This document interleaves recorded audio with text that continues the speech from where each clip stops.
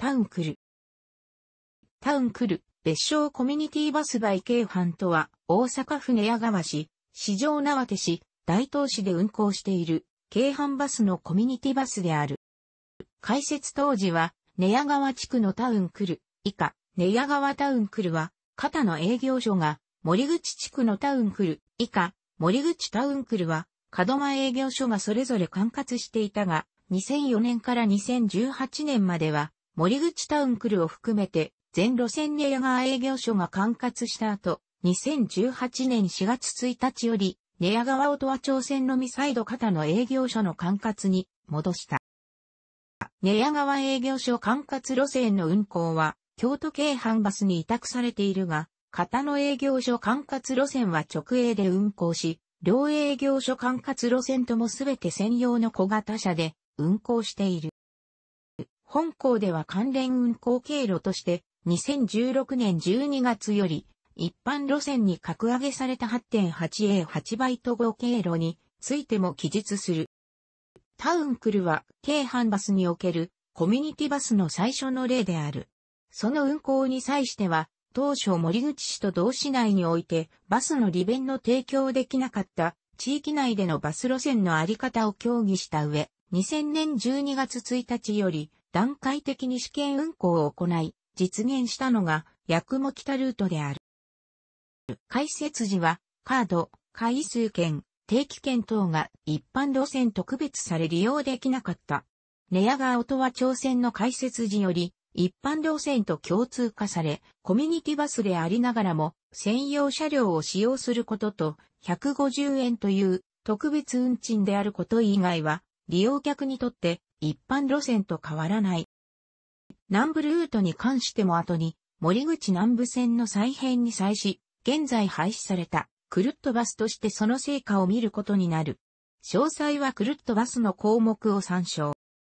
森口市北部の内大久保地区におけるコミュニティバスの運行は、上記の車両のうち、当時運行されていて、乗降客数の芳しくない太島公園店屋線13号、経路、寝屋川市駅、設南大学仁那寺団地口仁那寺大久保、古川橋駅の代替として、運行経路を見直し、2002年より1年間の試験運行の末、本格運行されることになった。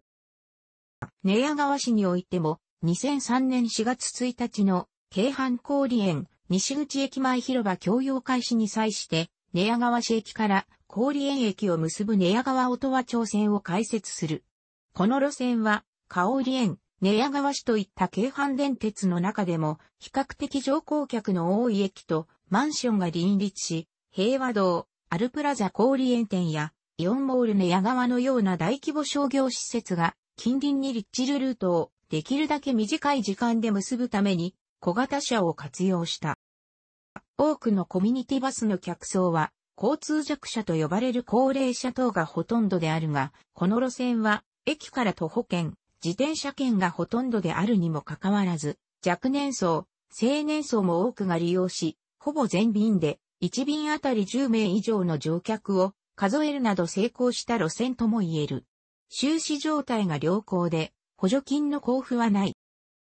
路線開設後も沿線には、大型商業施設ホームズ寝屋川店や、寝屋川育野病院が立地、超高層分譲マンションの建設や、団地の建て替えも行われている。他保険、自転車券である上、利用のしやすい公共交通が整備されたことは、地域に与えた影響も大きく、これからも乗客の増加が見込まれており、2012年2月には30分間隔から20分間隔へ増発さ運行時間も拡大した。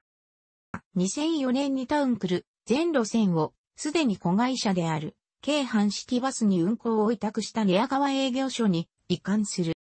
以前より路線開設の計画があったものの、警察協議により大型車の侵入が認められず、路線開設ができていなかった、茅島西地区と南部の河北地区にも、同様の車両を活用して、路線を開設を要望し実現したのが、寝屋川市内線の黒原ルートと、木田、河北ルートである。2006年8月28日に開設された。この二つの路線は、バス空白地域の解消を目的にしているため、赤字の発生した場合は、市からの補助金が交付される。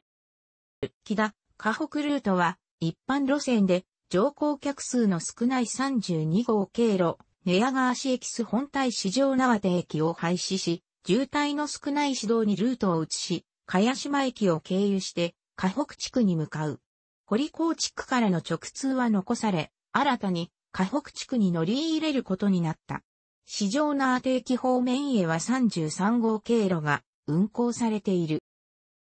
キアルートでも一般路線の乗降客数の少なかった27号経路、寝屋川市駅から太間口を廃止した後に、石津から太間口を除く区間で道路線が乗り入れ、さらに緑町中心部や私立総合センターから木屋地、京阪氷園駅を結ぶようにして、一般路線が廃止された区間からバスがなくならないようにする工夫を行っている。なお、キアルートはタウン来る最長の路線である。またキアは戦後しばらくまで京阪バスが国道1号に一般路線を走らせていた廃止時期不詳が路線の廃止により交通空白地域となった。キア地区の京阪バスの乗り入れは上記の路線廃止以来となる。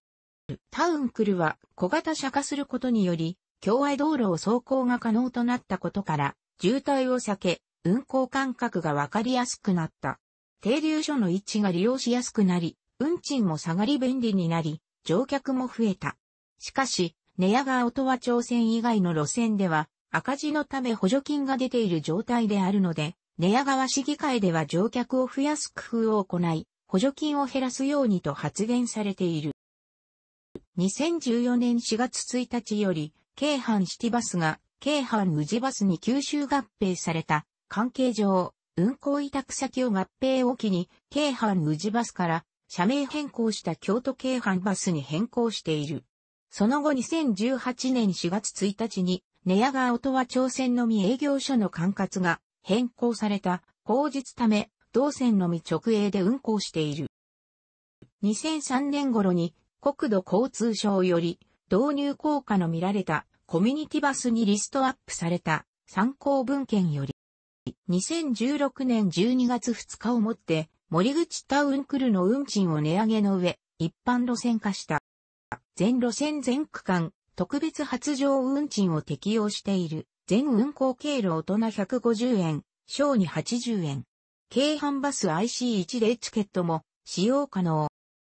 また、定期乗車券は森口タウンクルのうち、八雲北ルートには専用定期券があったが、2010年3月1日に地区定期圏範囲の統合、拡大により、森口門間地区の地区定期圏範囲に組み込まれて廃止された。大久保ルートも2010年まで定期圏設定はなかったが、このルートも2010年3月1日より、森口門間地区の地区定期圏範囲に組み込まれ、定期券利用が可能となった森口タウンクルの廃止後も引き、続道地区定期券で一般路線に乗車可能。寝屋川タウンクルでは、寝屋川地区の定期券での利用が可能。また、IC カードピタパーイコカも2010年3月に導入された。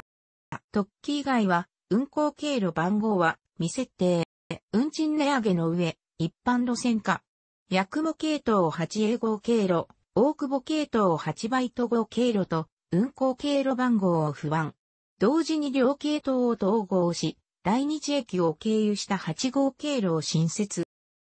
森口市を走行するのが基本であったが、大使橋三丁目のみ、大阪市旭国、古川橋駅のみ、門真市に位置していた。一般路線化後もこれは変わっていない。2008年10月19日、キアルートの開通により、寝屋川市内でのバス空白地帯解消は一段落がついた。しかし、一般路線バスの沿線でもバス停から離れた地域からの要望や路線がある地域でも新ルートの要望がある。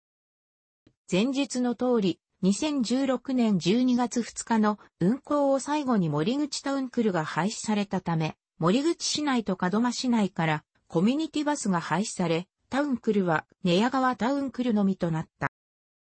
リニューアル前の京阪バス公式サイトの森口市内循環線の項目では、森口市出身の宮下健一作詞、作曲のタウンクルの歌が公開されている。子供から大人まで口ずさめるように作曲されている。しかし京阪バス公式サイトのリニューアル実施により、2015年以降は公開を停止した。楽しくご覧になりましたら、購読と良いです。クリックしてください。